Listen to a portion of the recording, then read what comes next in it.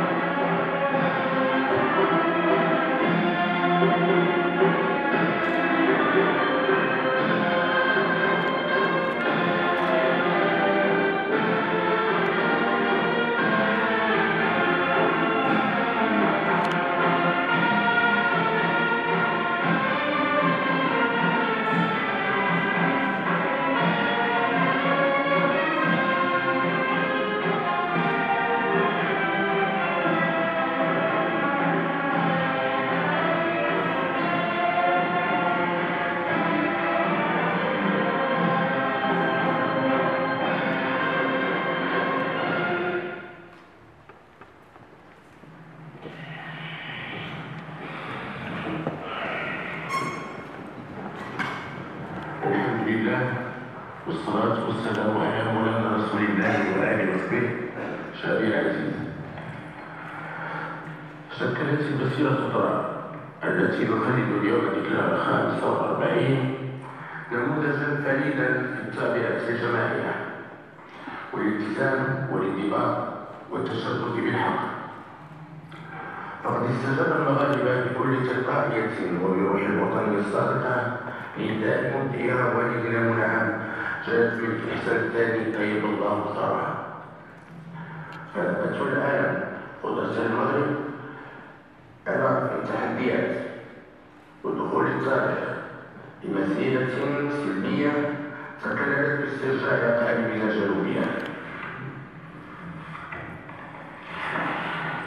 المسيرة الخضراء ليست مجرد حدث وطني بارز في مسار استكمال وحدتنا الترابية إنها مسيرة متجددة ومتواصلة بالعمل على ترسيخ مغربية الصحراء على الصعيد الدولي وجعلها قادرة للتنمية على المستوى الإقليمي والقاري وقد أراقت السنوات الأخيرة تطورات ملموسة على عدة مستويات. فعلى مستوى الأمم المتحدة. أقبلت القرارات الأخيرة من مجلس الأمن المقاربات والأطروحات المتجاوزة وغير الواقعية كما أكدت المشاركة الفعلية للأطراف المعنية الحقيقية في هذا النزاع الإقليمي ورسخت بشكل لا إشارة فيه الحل السياسي الذي يقوم على الواقعية والتوافق. وهو ما ينسجم مع المبادرة المغربية للحكم الذاتي التي تحظى بدعم مجلس الأمن والقوى الكبرى باعتبارها الخيار الطبيعي الوحيد لتسوية هذا النزاع. أما على مستوى الاتحاد الإفريقي فقد تخلصت هذه المنظمة بفضل رجوع المغرب إلى بيته الإفريقي من المناظرات التي كانت ناحيتها لعدة سنوات وأصبحت تعتمد على مقاربة جماعة تقوم على تقديم الدعم الكامل للجهود التي تبذلها الأمم المتحدة بشكل حصري من خلال أمينها العام ومجلس الأمن وعلى المستوى القانوني والدبلوماسي فتحت عدة دول شقيقة قنصليات عامة في مدينتي العيون والدخلة في اعتبار في اعتراف واضح وصريح بمغربية الصحراء وتعبيرا عن ثقتها في الأمن والاستقرار والرخاء الذي الذي تنعم به أقاليمنا الجنوبية وبموافقة على ذلك ترفض الأرضية الساحقة من المجتمع الدولي للسياق وراء نزوعات الأطراف الأخرى فقد بلغ عدد الدول التي لا تعترف بالكيان الوهمي 163 دولة أي 85% من الدول الأعضاء في منظمة الأمم المتحدة.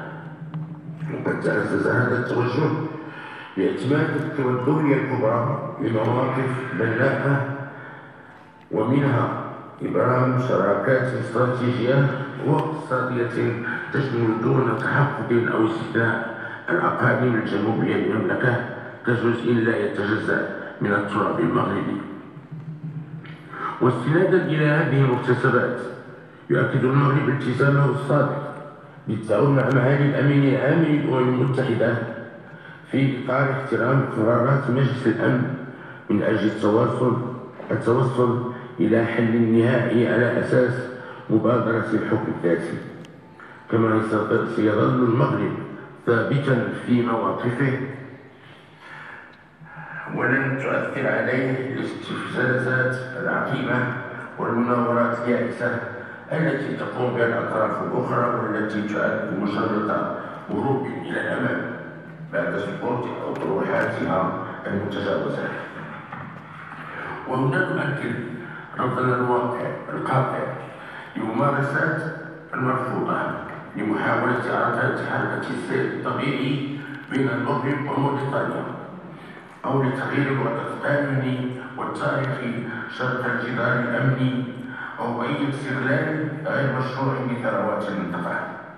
وسيبقى المغرب إن شاء الله كما كان دائما متشبثا بالمنطق والحكمة بقدر ما سيتصدى على يتصدى بكل قوة وحزم للتجاوزات التي تحاول المس بسلامة واستقرار أقاليم الجنوبية. وإننا موثقون بأن الأمم المتحدة والمينوسو سيواصلون القيام بواجبهم في حماية وقف إطلاق النار بالمنطقة شعبي العزيز إن التزامنا بترسيخ مغربية الصحراء على الصعيد الدولي لا يعادله إلا عملنا المتواصل.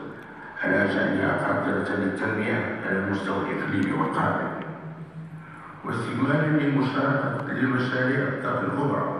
التي تشهدها أقاليمنا الجنوبية فقد حان الوقت لاستكمال المؤهلات الكثيرة التي يسخر بها مجالها البحري وفي هذا الإطار أكمل المغرب خلال هذه السنة ترسيم مجالاته البحرية بجمعها في إطار منظومة القانون المغربي في التزام بمبادئ القانون الدولي.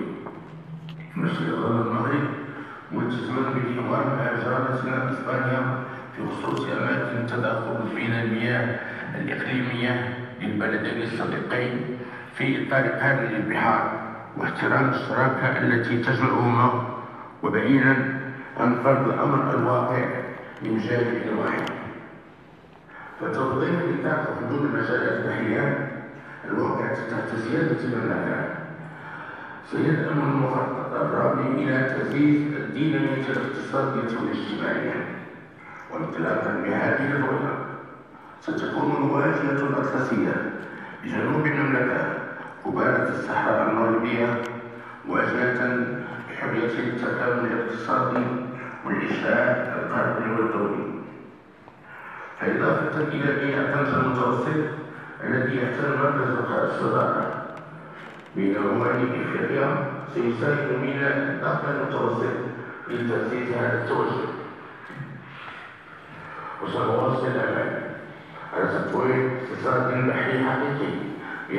إذا عجبك الفيديو خلينا إعجاب وتعليق. دير أبوني وفعل الجرس باش يوصلك كاع الجديد ديالنا وما تنساش تتابعنا على جميع مواقع التواصل الاجتماعي.